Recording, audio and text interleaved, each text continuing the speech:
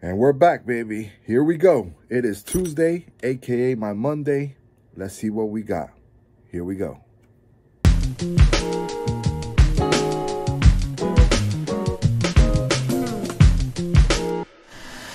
Alright, guys.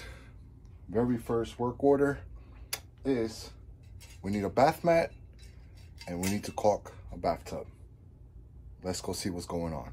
Just like I was saying before, we're gonna uh, replace the bath mat here because this one is literally coming out, as you can see. So that's no good, and it's wet underneath. So if you don't replace it quick, it could cause mold, and then the problem could get worse. All right, and also we're gonna do the caulk around the bathtub. Now this one right there has that uh, divider or whatever you want to call it, but we're gonna caulk the edges of that too. That way it could be perfect. All right, let's get started. All right, so for starters, we're gonna take the old mat off. Now remember, these should just peel and stick. So it might take you a little while. Just like I said, it has mold. It's not good. It's not good, and I'm gonna show you in a minute. It actually smells too. So we'll take this out. Yeah, it has mold. Wow. It's been like that for a while, man. Nobody reported it.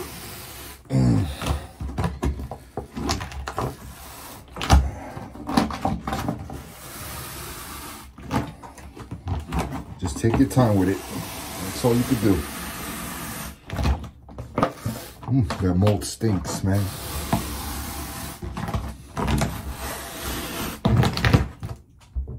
All right, I'm gonna keep, uh, as you can see, as you can see, let me just focus, has mold. So this is the reason why I don't like bath mats, because once they get loose, the water goes underneath, and if you don't change it out right away, that happens right there.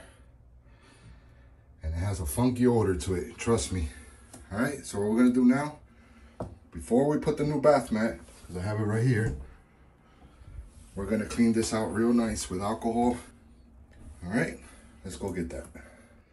Just to be honest with you guys, I can't use bleach because I'm highly allergic to it. But we're gonna try denatured alcohol for that right there and for over here. We're just gonna give it a nice cleaning. Um, we're not allowed to carry bleach only housekeeping, only the housekeeping manager because due to the fumes and all that, so nobody could use bleach in the hotel. But I do have denatured alcohol and not to mention that I'm allergic to it too. Trust me, always wear gloves for this type of job here. I know I didn't wear gloves when I was taking the mat out, but I did grab it from the edges. But um, I should have wore gloves. Anyway, denatured alcohol, we're gonna try to get that out of there. Let's see. All right, I'll put some denatured alcohol on top. Uh, let's see if it comes out. Yep, it's coming out. You see this little hole there? You see how it's gushing out water? I'm gonna tell you why in a minute. Okay, you can see there's a hole in the liner here in the bathtub. Reason being is because whoever installed this liner didn't do it right because they didn't uh they didn't tighten it right over here. So water gets in through here and inside the liner. So what we do is we make a, a tiny little hole here. In this case this is a big hole. Somebody just went overboard. What i do is just make a little tiny hole. This one's way too big. That's why i created mold around it. Well anyway so this is just to get rid of the water. As you can see, what we do is just create pressure going down. As you can see that way, all the water can come out. So this little job became a little more difficult, ladies and gentlemen, because now I gotta drain all that water and then seal that, wait till it dries, and then put the bath mat. So this room might be out of order today. Yep. So let's see what happens. But as you can see, we just have to build a, a little drain hole because if we go in through there, we uh we can mess up the liner for good.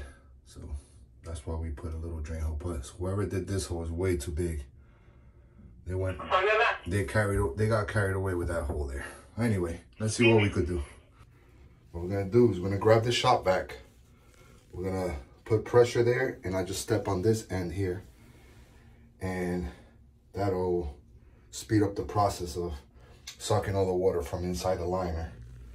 So I'm gonna go get the shop vac, put it there on the hole, suck as much water as we can because one thing that I hate, ladies and gentlemen, one of many things is an unfinished project and I'm to try to finish this one today. I don't like to put rooms out of order. All right, let's go try that trick. Okay, so what we're to do first, before uh, we drain that out, because it has a lot of water in, in that hole there, we're to do the, the caulk first. Reason being, because I have to take out all the old caulk and put a new one, and it's to make a mess. So once we do the old caulk and we clean everything up nicely, then we'll do the, the shop vac trick to get all the water from inside the liner there. All right, let's go. We removed all the old caulk. And just like I said, see the mess that it makes? So now we'll go, we'll clean all this up real nice. We'll put the new caulk in. Of course, before we put the new caulk in, we gotta clean it real nice so we could get rid of all the debris. But this is one of my pet peeves, guys. See this? This is layers upon layers upon layers of caulk. This was this what happens if you leave the old caulk and you put the new caulk in. You're gonna get mold. And now whoever's doing the the new caulk is gonna have a hard time because now this is buried in there. So now you gotta dig in there and get it out, just like I did with that piece there. I'm sure there's more, but I'm not gonna be reaching in there all day long. All right, so if it comes out, it comes out. If not, I can't help it. All right, let's clean her up real nice and we'll put the new caulk and we'll continue. Nice and squeaky clean all around. Of course, like my other videos, you know that I cleaned it with the with the denatured alcohol here and get all that old caulk out and debris as much as we could. So now all these things there are from the from the bath mat. Then when you rip it out, you know, chunks of it come out. But uh, I'm not worrying about that because the bath mat will cover it real nice. What I'm worrying about is this. See that? No good. So we're gonna try to do it with the shop vac. But before we do it, let me just caulk this real quick and then we work on that. So we got ourselves a new caulk here. And uh, I know that these type of guns, see, they come with their own cutting. All you gotta do is squeeze it down and it cuts it. But I like to cut mine on a nice little angle here. I know you could do it here too, but I have I like to have the knife, it's more control. What I do is I start out real small. Let's cut it real tiny first and an angle, like so. You see, now it's nice and angled. Cut a little bit more off, just a tiny hair. I like doing it like this instead of in the back of the machine here because I have more control, okay? So once you have it in a nice little angle, all right, take it out. Get the old little metal stick and you just clear the caulk inside. Okay, that's it. Put it back. And let's get ready. And let's get ready to caulk the, the bathtub. So I do, I'll give it a nice little test before anything. There we go. It's coming out real nice. All right, just finished caulking. It looks fantastic. All right, so what we're gonna do now, try to clean as much as we can of that residue. And then we're gonna fix that hole there with the with the water. Look, if I step on it, look at this. See what I'm saying? So we're gonna use the shop vac to to get that going.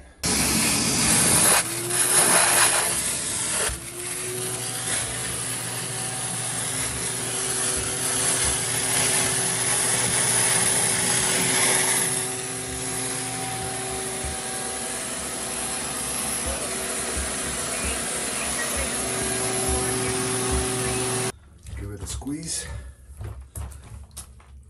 It looks like we're getting there.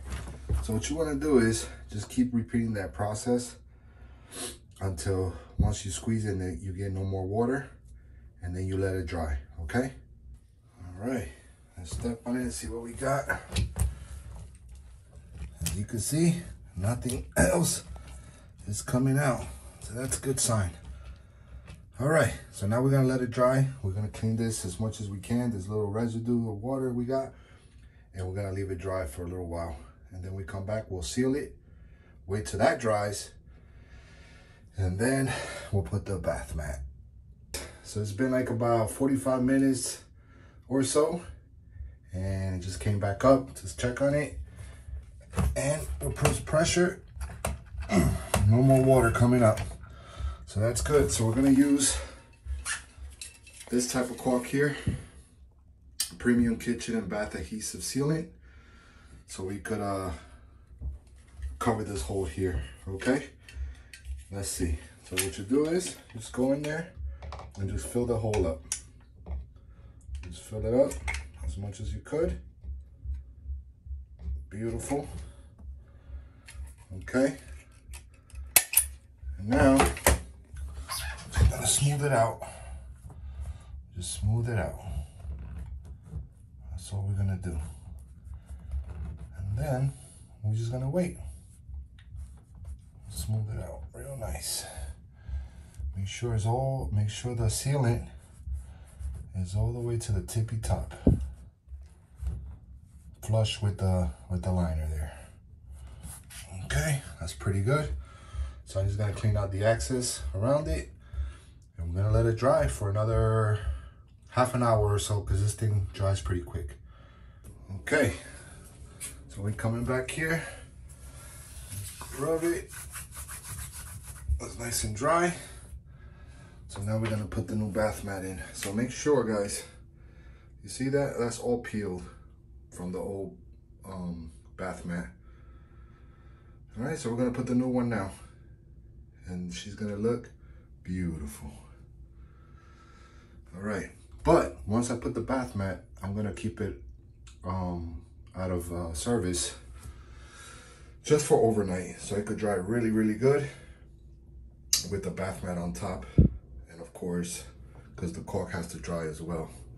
And this caulk here takes a little while to dry. So just to play safe, we're gonna um, leave it overnight and that's it. And tomorrow they could bring it back. Here we go. So we're ready to put our brand new math bath mat, as you can see. So these are the peeling stick. It's like a big sticker. Now everybody has a method. Me, I like to take the, the back out of it completely to start off with. Everything's off. The back sticker. So now it's just a big sticker. So I just line it up with the old one, with the lines of the old one. I know it's not the best angle, but I'm gonna make it work. Okay. The hardest part of putting this is the beginning. You don't want no bubbles. You don't want none of that. And then you just make your way over. You could use a squeegee if you want, but I've been doing this for a while now, so I'm already used to it. And the reason why I use it, I take the whole paper out, is because it gives me more leverage and it's not gonna be in my way. Like I said, I've been doing this for a while now, so I already know what I'm doing. If you wanna keep the paper and just go little by little, you can. That's your preference. But once you do it multiple times, it becomes easier and easier and easier. All right, as you can see, the name of the game is not to have bubbles. You don't wanna have bubbles. All right. The moment you feel something, just lift, lift it back up and take it out. But we're doing good here. We're doing real good. All right, we're in the last stretch here. That's that. Beautiful. Always make sure that it's nice and dry, that it's nice and clean from debris. Okay, and that's it. And I'm gonna show you the, the result right now. Just like that, ladies and gentlemen, looking good. Brand new caulk, brand new bath mat, doesn't have no mold. We're ready to rock and roll. And of course, the main project here was to take all that water out of inside the liner there. And we did it. And of course, we seal that hole. On to the next. All right, guys, our next work order is, that's right, another shampoo. But I'm not going to show you that, okay? I just want to take this time out real quick and say, um, if you guys saw the video yesterday, Friday the 13th, um, in Blairstown, New Jersey, thank you for watching it. And if you haven't, pause this video right now and go check that video because you're going to love it. If you are a fan of horror movies or, or movies in general, check that video out because Blairstown, New Jersey was the, uh, the location where they filmed the original Friday the 13th. And we had the privilege of go check that out. Also, I want to I want to send a big shout out to my wife because she doesn't like the cold at all. She hates the cold, but she still went out with me and and we did this video. So big shout out to, to my wife. All right, so let's go shampoo this rug right now. And let's see what else the day brings. We'll, we'll catch up with Joe later on too. He's here. Let's see what he's up to. Here we go. What's up, Joe? We think we got a lot accomplished or what? Well, cleaned up the shop a little bit today. You did good. You did good. You did real good. We did all the service shit that we needed to do. Yeah. A couple of short. The day got away with it. The, the, the day got away from us, guys. Meaning the video wise. But we got a lot accomplished. But like I, I showed you before, how to clean out uh, a liner from a bathtub, how to empty that out. And you guys wanted to see Joe. Here you go. Joe is here, Oh my god. grumpier than ever. I can't take this anymore. I need light bulbs that never blow. Yeah, we right now we're on light bulb duty. Not much today, not much today to show, guys. But Oh, this, this Again. not too bad. now this this floor is good. I know, This floor is good. But again, guys, make sure you subscribe, like the video, and of course, tell a friend to tell a friend about the Zooma vlogs. This radio won't shut up. Uh-huh. Anything you want to say, Joe? Cheers. Big ears. Here we go. All right. Cheers with some cheers. See you tomorrow, guys. Better day tomorrow. Mañana. Peace. Mañana. Mañana. Mañana. Mañana. mañana.